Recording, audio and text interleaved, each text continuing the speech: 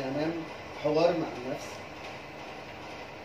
الحاضرة والقوة النفس الإنسانية الإنسانية الشفيفة. وكمان في حوار مع الروح الروح. المحيطه بينا أو الروح في الحياة الأخرى اللي إحنا بنشوفها هناك تصور للروح يعني مش ماهيه الروح وتعريفها لا في تصور في في المجموعة خصوصا في الجزء الثاني عن ماهية الروح اللي هو همس الأرواح. ف وفي كمان هم إزاي هتفارقنا هذه الأرواح و...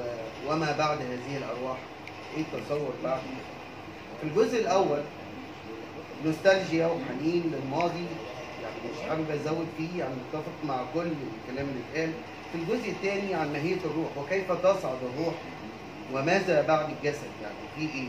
يعني مثلا كمزحة خفيفة تصعد الروح إنه تمرين بسيط. هقول لكم الجملتين اللي اتقالوا وهقول لكم حاجة حصلت آه، طب هقول الحاجة محمود المليجي.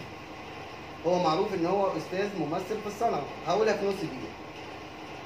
مع عمر الشريف آه، في فيلم أيوب بيقول إن الدنيا دي عجيبة جدا آه، الإنسان يصحى وينام يصحى وينام يصحى وينام ويشخر. كان بيمثل دور إن واحد بيموت. في اللقطة دي التشخيره دي ما ما اتقالتش. اتنفذت في الحياة الفعلية العملية ومات محمود المليجي في المشهد.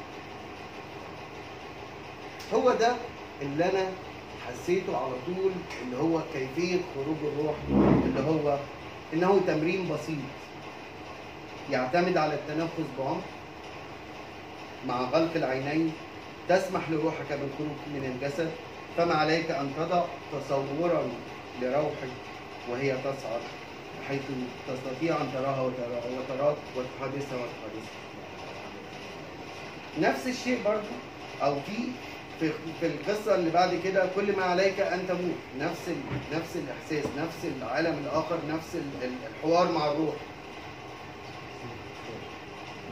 كنت كتبت ولغيت ال- ال- الكلام والمداخلة اللي هو كيفية خلق المدهش من العالم يعني هو عنده الكاتب عنده آه، براعة شديدة جدا حقيقي خلق.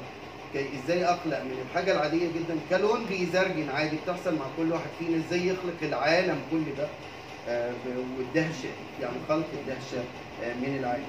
صورة واحد وهو ماشي في الخلفية سيد عبد الخالق وهو بيسحب نفسه من الكادر صورة عادية جدا ما إحنا كلنا بنتصور وواحد بيمشي عمل منها إزاي ال- ال- الحالة ال- الجميلة دي.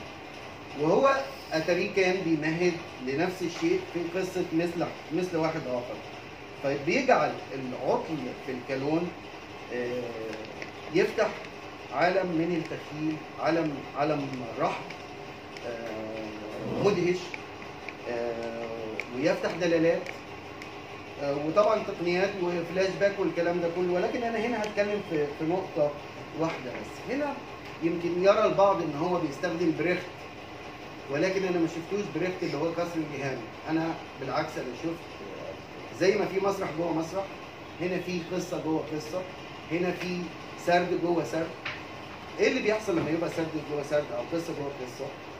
أنت بيخدعك بإنك أنت تصدق الممثل ده اللي هو ال- البطل قصدي اللي هو هيموت بكرة تاني يوم ده ويخليك آه، يبلور تفكيرك كله يخليك مركز إن هو ده القصة.